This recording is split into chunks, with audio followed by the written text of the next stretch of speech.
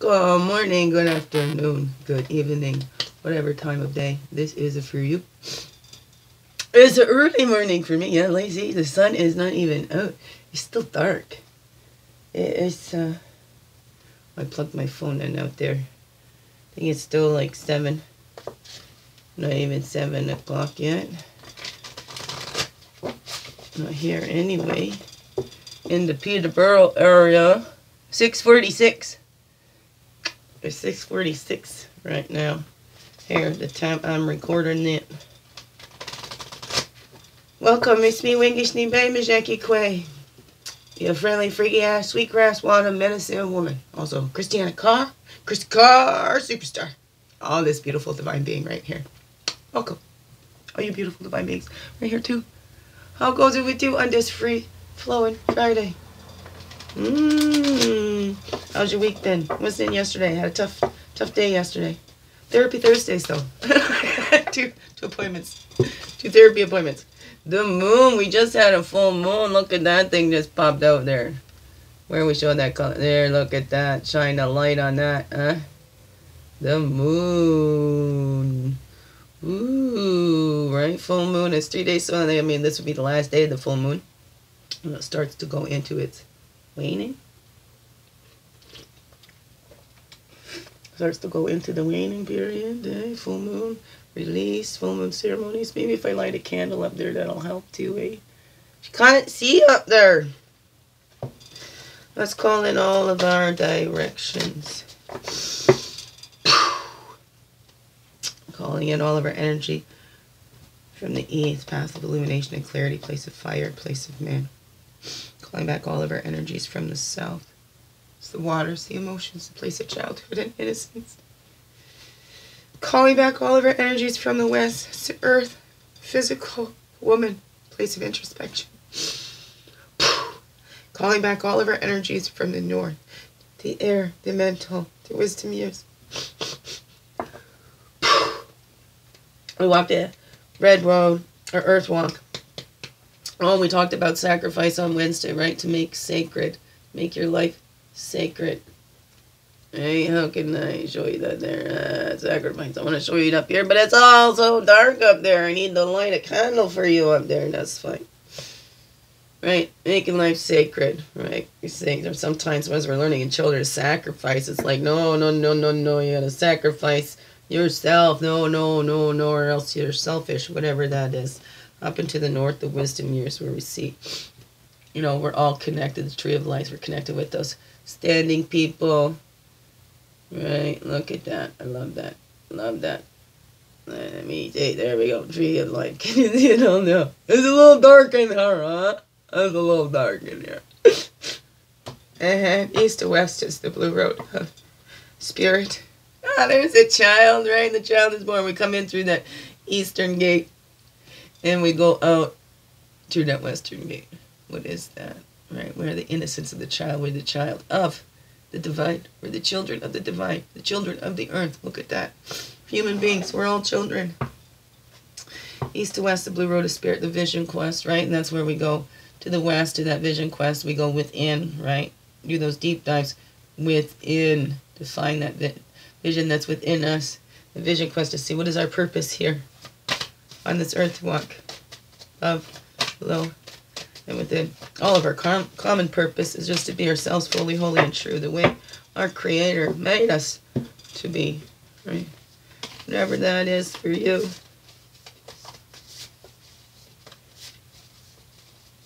Free flowing Fridays. I don't have my children this weekend. There's lots I need to do figure out this body stuff too. Any more answers? Now we're going to be referred to a neurologist in in Toronto. I think I already said that. I think when I watch it back, I said the freaking neurologist. And I don't mean it like that. I just mean when I say freaking, it's just the time, the loops you got to go through for things. You know, and if you can't keep on it when you got so much going on, when you're still living through trauma, you know, it's not past, it's current and on ongoing.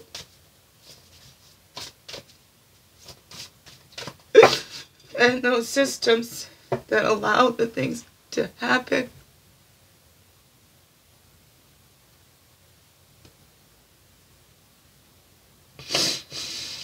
And some other things. We get to feeling that, you know?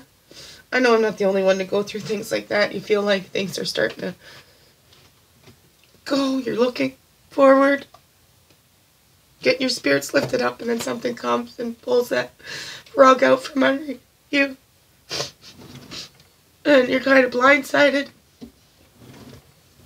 When you didn't see something coming. You're afraid of it, but maybe that's the fear, right? That's that rabbit. We saw rabbit come up a couple times, right? Calling calling in our fears. We call them in. Because what you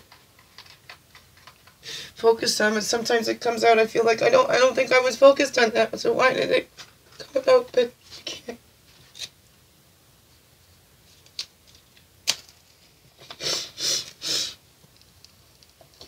Everything's always in divine and perfect order, even when it don't feel that way. We don't know, right? Because that's that that that hindsight. Hindsight's the twenty twenty, right? Hindsight twenty twenty. Oh, you're gonna fall over if I move that one. Uh, that's all right though. But anyways. Moving it anyways. Lighten up the dark side.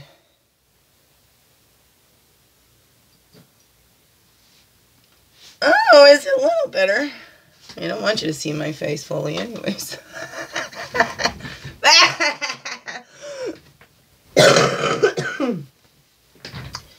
right? It's these, uh, that plays in my head too, right? How many people get off of my tears? Some people like to see me like this more than smiling, I guess. I don't know.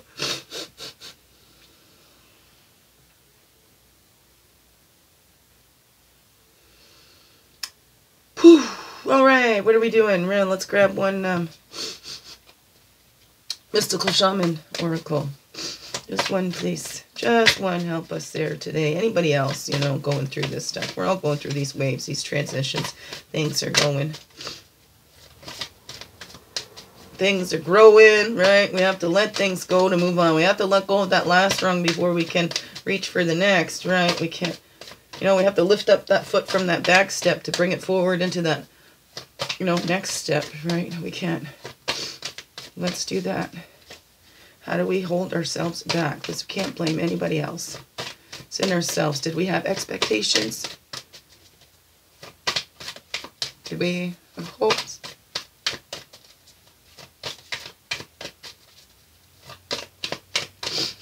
Do we hang our happiness on something outside of us?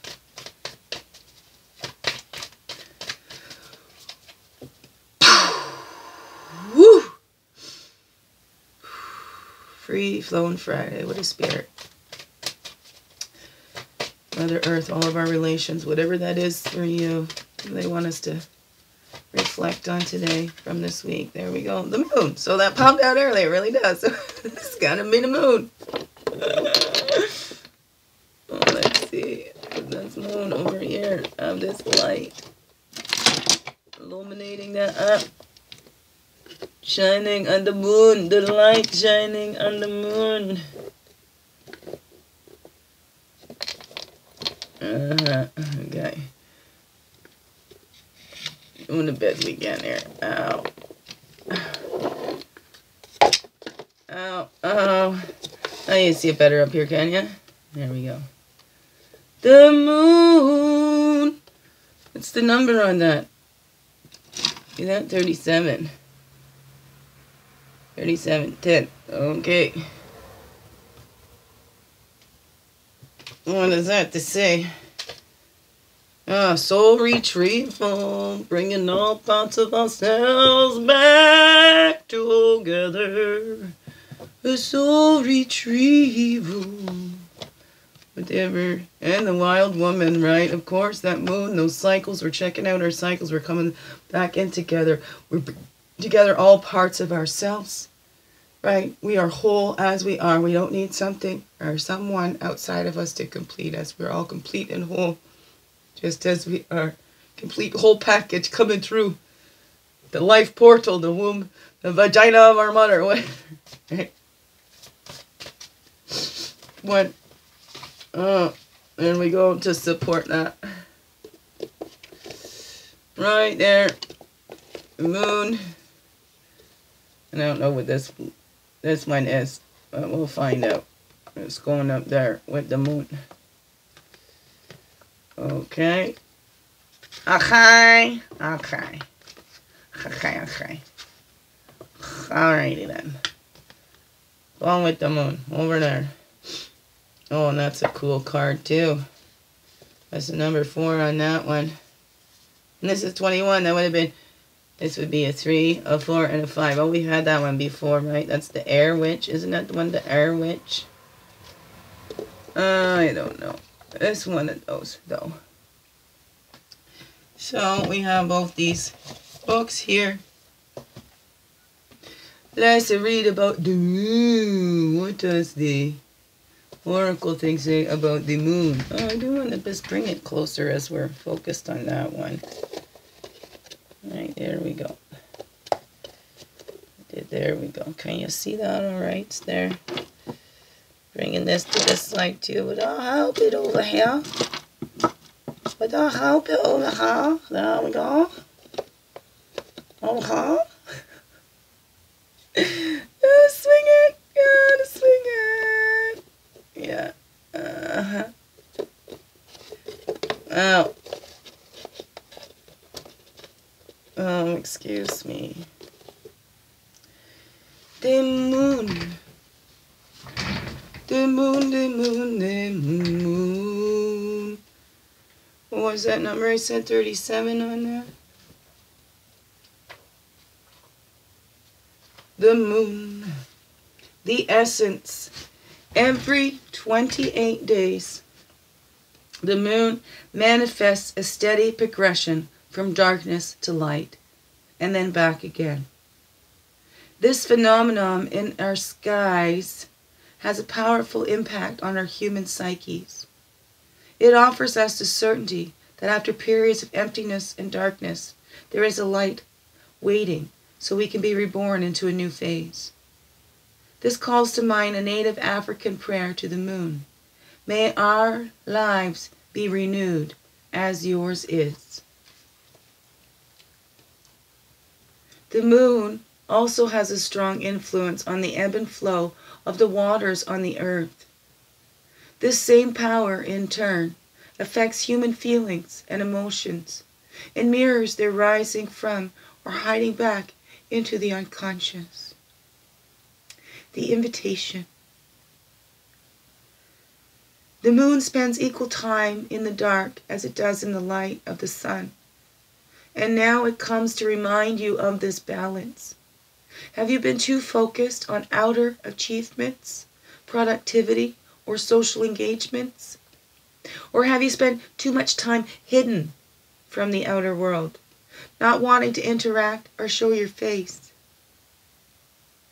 Meditate on the significance of the moon's cycles and let it gently guide you out of your bottomless depths Head back to the world of outer expression and connection with others. Let it help you make time for yourself, your feelings, and your essential human spiritual needs. This card calls you to go on a journey of renewal, just like the moon does every month, so you can get unstuck whether from a specific situation or life in general. For this, you need to make time to be with yourself without distractions of modern society. And have the courage to look at the unwanted or unembraced parts of your being until you have arrived at a place of resolution. Shamanic lore explains that the finest treasures of humanity are hidden where people are most afraid to go. And that is within. That is within, right? For that soul retrieval. And look at then soul retrieval comes up, the shamanic wisdom, because it's that soul retrieval bringing us all together, whole and one inside. See what is that underneath? the Indian cross, the within, afraid to go within, deepest parts of ourselves. Soul retrieval is 49 on that number. The essence. Soul retrieval is a practice that helps you recover a part of yourself, your energy, your enthusiasm, or your innocence that you have lost. At first, we'll use soul retrieval to recover from our hurts and heal our childhood wounds. Later, we learn to journey to recover our original nature that self that never left the Garden of Eden, who still speaks to the rivers, to the trees, and to God. When we return to Eden, we are whole again. We are no longer fragmented and are one with creation. You have healed the cause of the pain you feel, so you do not need to dwell on it any longer. Really, it's true you're still hovering over an old wound, find a new path. Don't be distracted with the little stuff you've already mastered. Go for the big one, the journey back to Eden. The medicine. When did you compromise what you truly believed in to be loved or accepted by someone? Think back over your life and find the time or times when this happened. Vow to never compromise your integrity again. What have you agreed to in the name of love that you know is deeply wrong? Make it right this instant.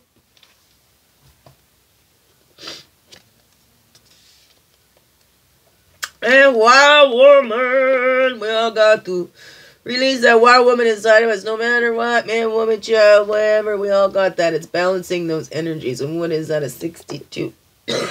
excuse me. Is that right? No, that's a 52. I need to go to the 60.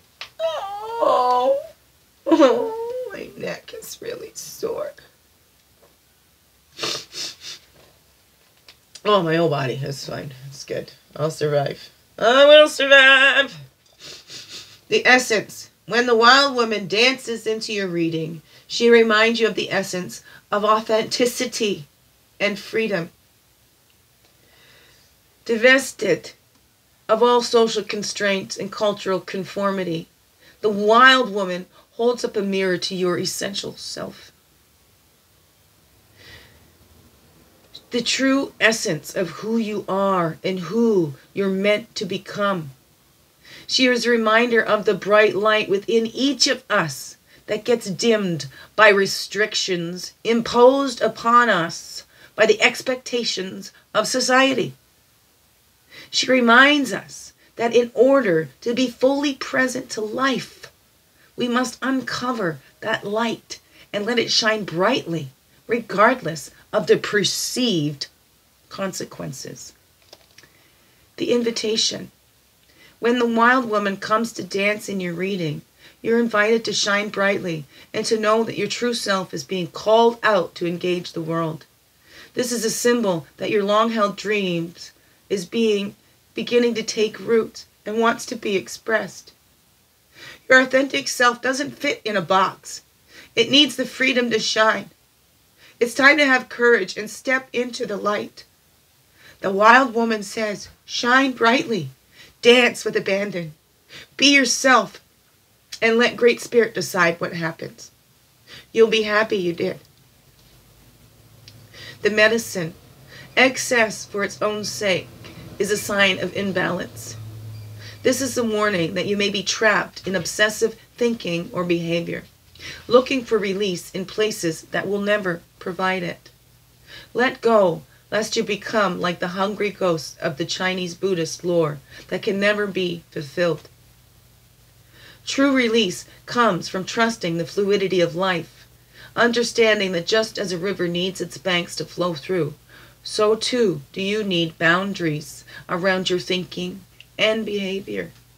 Now is the time to simplify, be mindful, and connect to that light within. Connect to that light within. We all have it. Whereas it's in you, I have a connection in me too. We all have that. No exceptions. Okay, let's read this one over her now. What she's saying, number 23 is what that's the number on that one. That'd be the number on that one in number 23. In the Moon Woman. Moon Woman cards. There, there we go, the Water Witch emotions. The emotions. The Water Witch number 23. You are the liquid of life, transparent, translucent as crystal. You are the tides, high and low. You are the flow of knowledge from the great depths, and pour everything upon the waves. You nurture all living beings and quench all thirst.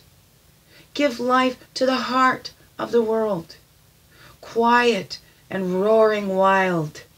You contain, wash, and renew. Send roots into the earth, growing strong in your mysterious ways. Great healer that you are. You are a missionary of Grandmother Moon, devoted to carrying forth her lunar messages. Ooh, water witch up here with the moon. Oh, yes, right. And then we have, we did the bottom part first, didn't we? We have this one, the number four is what? Which is that? Number four is birth. We're being reborn. We're having the rebirth right now.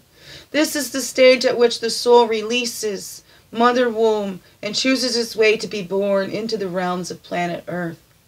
At this stage, both courage and union between mother and fetus are necessary in order for baby to come out into the world through the gates of a of a womb's of a woman's womb. This is a narrow gate that can widen with the deep and focused desire for new life, for a new journey, a new incarnation.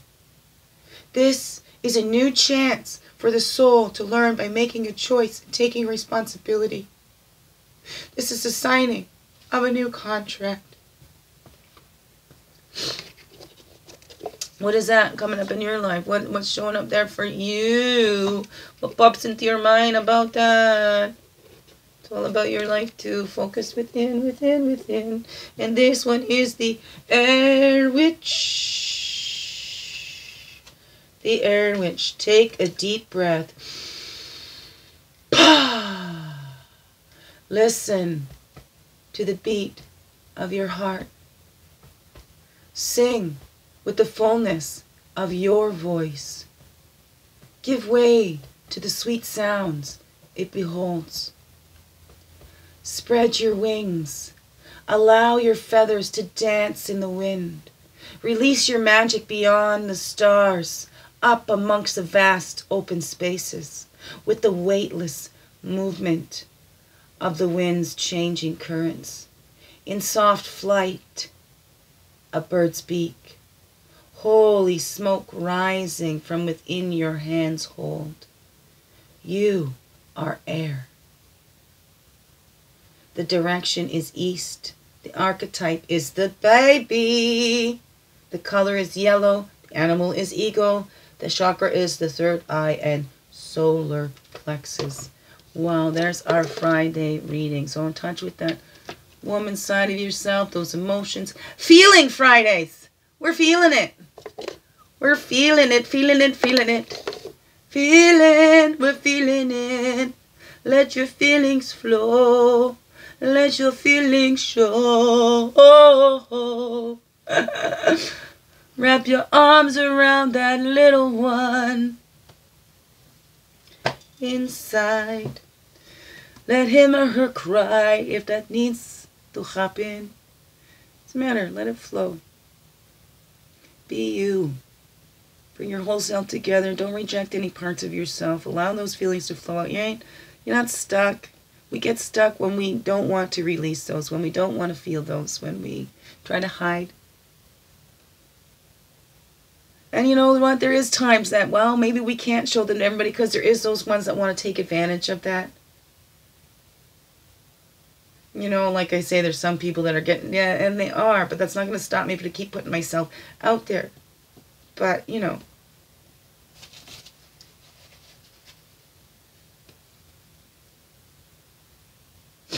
uh, uh, and being human here too, and you know, honoring everything that I'm feeling, letting things flow and letting it go, and trying not to stop anything. So look at that for you.